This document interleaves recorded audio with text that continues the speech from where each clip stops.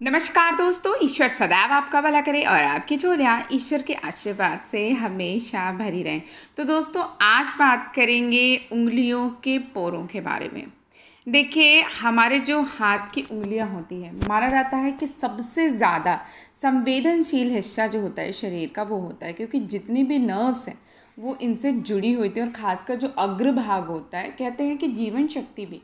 इसी भाग से हमारे शरीर में प्रवेश करती है और खासकर जो तर्जनी का जो सिरा होता है, माना जाता है कि इस टिप से जीवन शक्ति व्यक्ति के शरीर में प्रवेश करती है।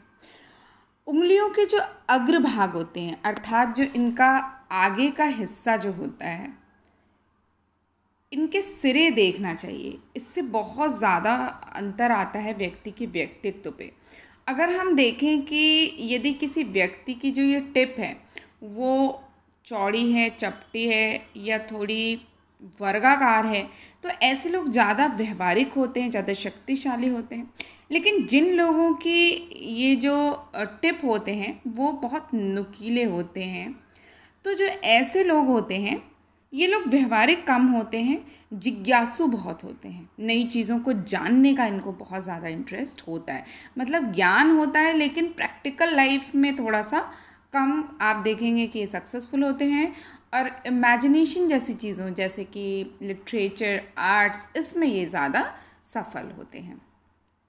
अब बात करेंगे उंगलियों के फैलाव की। देखिए, एक बात ध्यान रखिएगा, जिस व्यक्ति का जो हाथ है, वो अगर उंगलियाँ अंदर की ओर मुड़ती हैं तो ऐसे व्यक्ति के लिए थोड़ा भाग्य आप कह सकते हैं, कम साथ देता है।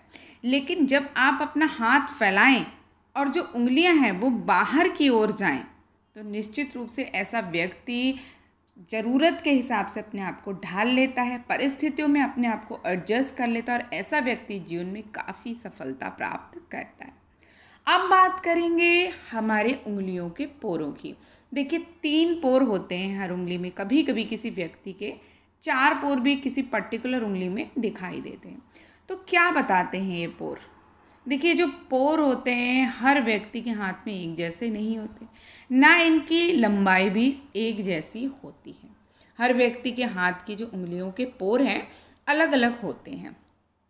अब देखा जाए कि यदि आपकी जो हाथ की जो सबसे पहला जो पोर है, ये, यदि ये लंबे हैं, या आप कह सकते हैं बड़े हैं ज़्यादा तो ऐसे लोग जो होते हैं थोड़ा सा भावुकता में काम ज़्यादा करते हैं।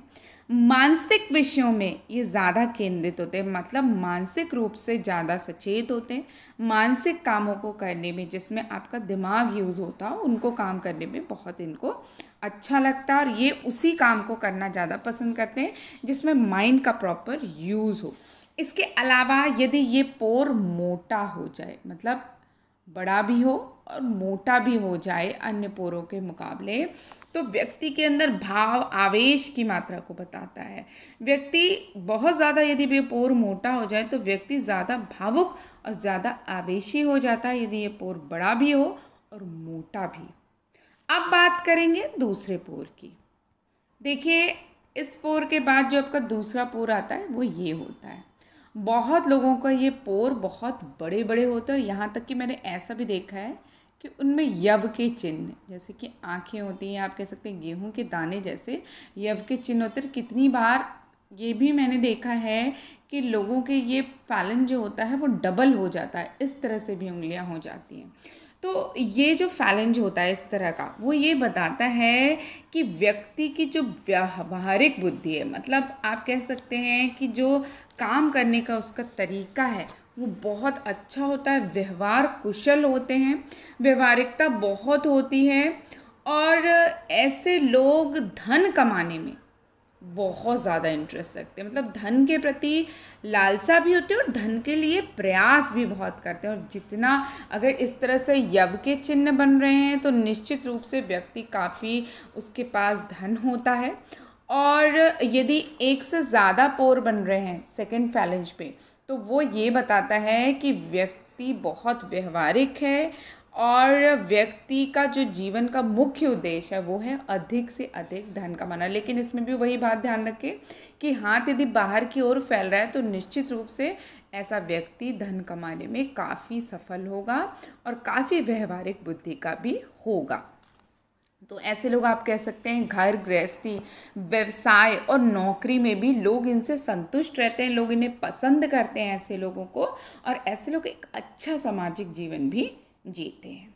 अब बात करेंगे तीसरे पोर की। देखिए, यदि आपकी जो उंगली है, उसका ये तीसरा पोर यदि बड़ा हो, लंबा हो, लेकिन पतला हो तो ऐसे व्यक्ति बहुत ज़्यादा पैसे कमाने के लिए लालच नहीं देखते वरन इनके जीवन का जो मुख्य उद्देश्य होता है, अच्छे से खाना पीना, सोना, जीवन को अच्छे ढंग से जीना, ये इनको अच्छा लगता है। मतलब आप कह सकते हैं, जीवन में हर वक्त पैसे के लिए नहीं भागते हैं, जीवन को इंजॉय करना भी जानते हैं, आमोद प्रमोद में इन्हें बहुत अच्छा लगता है।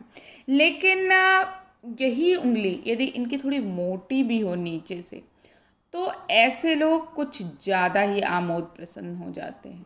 मतलब आप कह सकते हैं कि इन लोग का फिर जीवन सिर्फ़ खाने, पीने, भोग, विलास, आमोद, प्रमोद में ही बीतता है। तो ये निचला पोर यदि बहुत मोटा होके बड़ा हो गया है तो ऐसा व्यक्ति धन के प्रति लोलुप भी होता है। और इन्जॉयमेंट बहुत चाहता है अपनी लाइफ में। जो भी कमाता है, उसको खर्च करने का उसको बहुत इंटरेस्ट होता है। लेकिन हमेशा याद रखिए कि हाथ की उंगलियाँ यदि बाहर की ओर फैलती हैं तो वो ज़्यादा शुभ होती हैं। ऐसा व्यक्ति अडेप्टेबल होता है। मतलब जो भी परिस्थितियाँ होती हैं, उसमें ढलना जानता है, चीज़ों को मैनेज करना जानता है और अपनी मेहनत से अपनी तरक्की करता है। तो दोस्तों, आशा करती हूँ आपको हमारी आज की दी हुई जानकारी पसंद आई होगी।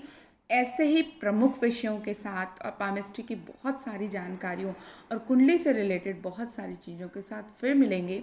यदि आप अपनी कुंडली एनालिसिस करवाना चाहते हैं तो आप हमें इंस्टाग्राम पर फॉलो कर सकते हैं। वहाँ हम आपकी कुंडली भी एनालाइज कर सकते हैं। तो दोस्तों, आशा करती हूँ आपको हमारी आज की दी हुई जानकारी पसंद आई होगी। ऐसे रोचक जानकारियों के लिए कृपया आप हमारे चैनल को लाइक सब्सक्राइब और शेयर अवश्य करिए तब तक के लिए दोस्तों, नमस्कार।